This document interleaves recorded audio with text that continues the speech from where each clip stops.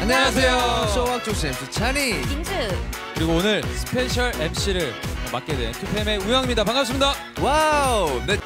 정말 감사합니다. 예, 저번 주에 어, 인터뷰로 저희가 또 인사드렸었잖아요.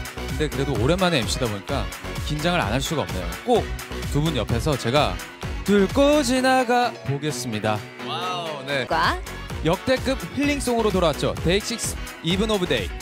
모두가 눈물 나게 기다려왔 아 2PM의 무대까지 기다리고 있으니까요. 모두 꼭 함께 해 주세요. 자 그럼 7월 둘째 주 쇼 음악 중심 M 차트 이번 주 1위 후보 세 팀 만나보도록 하겠습니다. 안녕하세요. 데이식스 데이입니다. 왜 이렇게 기운이 없어요? 다시 해봐요.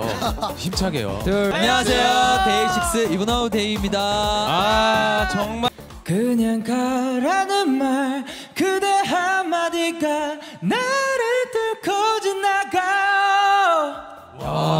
역시 영현 씨 이렇게 목소리 너무 좋아요. 아니 10위부터 4위까지의 순위를 알아볼까요? 네. 거부할 수 없는 끌림 무조건 함께 해야만 하는 2PM의 해야이가 9위. 먼저 3위는요 모두가 기다려온 2021 버전 저희 2PM의 한이뿐이 96,742건의 조회수를 기록했고요. 자 2PM 선배님들 집 방문 방문하기. 잠시만 잠시만 잠시만 아니 이 모든 걸 다 해야 해?